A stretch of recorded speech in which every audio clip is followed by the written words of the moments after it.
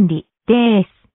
政治家失格になりましたので、テレビなどにぼちぼち出ようかと思っています。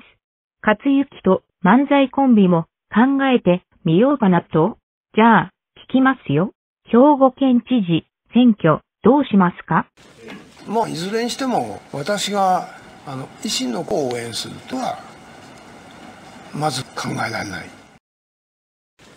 まあいずれにしても私があの維新の子を応援するとはまず考えられない 대륙간 탄도트 장착용 기소탄 시험에서 완전 앙 조선노동당 인민의 분명을 한 몸에 안고 우리가 바라는 분갈이 이상 모두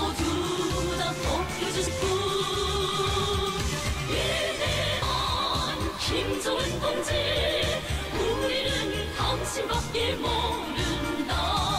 위대한 김정은 번제